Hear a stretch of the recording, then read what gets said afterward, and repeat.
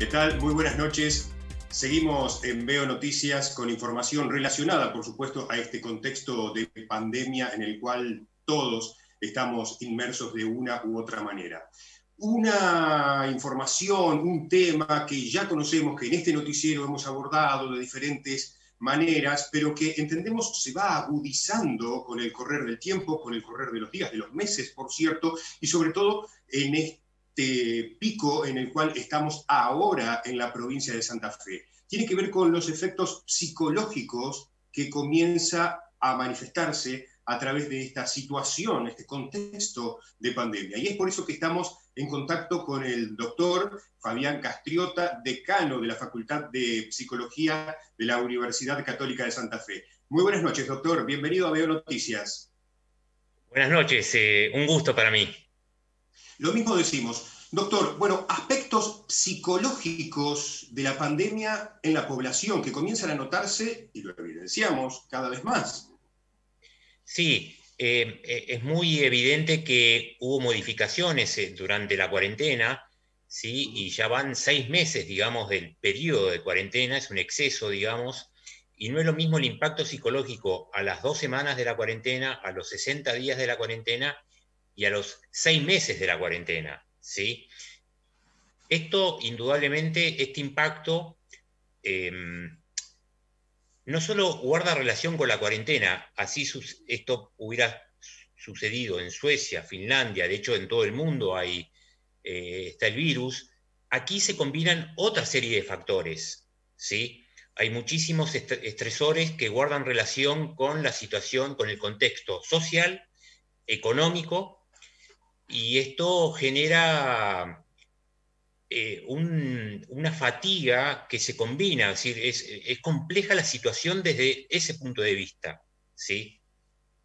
Sí, doctor, eh, permítame, precisamente en la edición de ayer, domingo, de Diario Clarín, en su edición de la revista Viva, aparece este concepto, esta metáfora con la industria farmacéutica acerca de un botiquín emocional.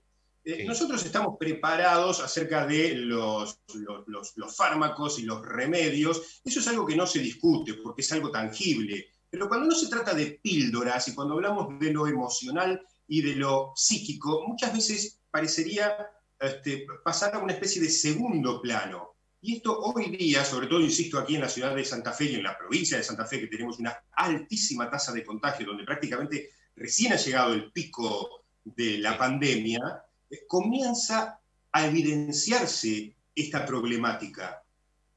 Sí, sí, lo, sorprendente es que el, yo siempre digo que cuando comenzó la cuarentena y el, gobierno hizo algo muy valioso que eh, con un comité de expertos en todo lo que tiene que ver con, con, los aspectos preventivos eh, en cuanto a lo sanitario, ¿sí?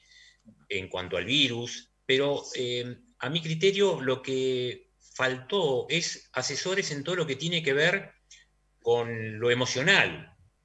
Doctor, a propósito del aumento de consumos de fármacos, de ansiolíticos y de toda esa familia, eh, ¿entiende usted que esto podría ser una especie de, de parche, de tapar la luz amarilla, de alerta que enciende el cuerpo y que en verdad eh, haya de manera subyacente posibles enfermedades y patologías más serias que sean detonadas por esta situación prolongada de alto estrés?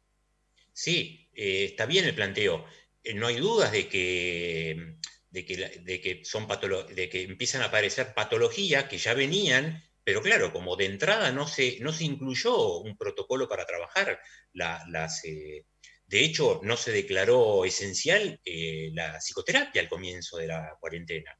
Algo que la verdad que a los colegios de psicólogos, a la Federación de Psicólogos de la República Argentina le llamó poderosamente la atención. En su momento le hicieron una carta al, jefe de ministros. Es, un dato, la verdad, que muy significativo, que no se haya declarado de entrada como una actividad esencial. ¿Qué lugar ocupa entonces la salud mental de los argentinos?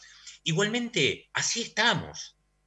Así estamos como sociedad. Es una sociedad que realmente le cuesta mucho, y lo vemos en, los eh, gobernantes, establecer prioridades, cuáles son las urgencias, a qué hay que prestarle atención, dónde ponemos el, el, capital de los impuestos. Es decir, bueno, es una sociedad, digamos, que, tiene muchas dificultades de, funcionamiento. ¿no? Doctor, ha sido muy amable, le agradecemos este contacto con Veo Noticias Santa Fe. Buenas noches. El agradecido soy yo y muchas gracias. ¿eh?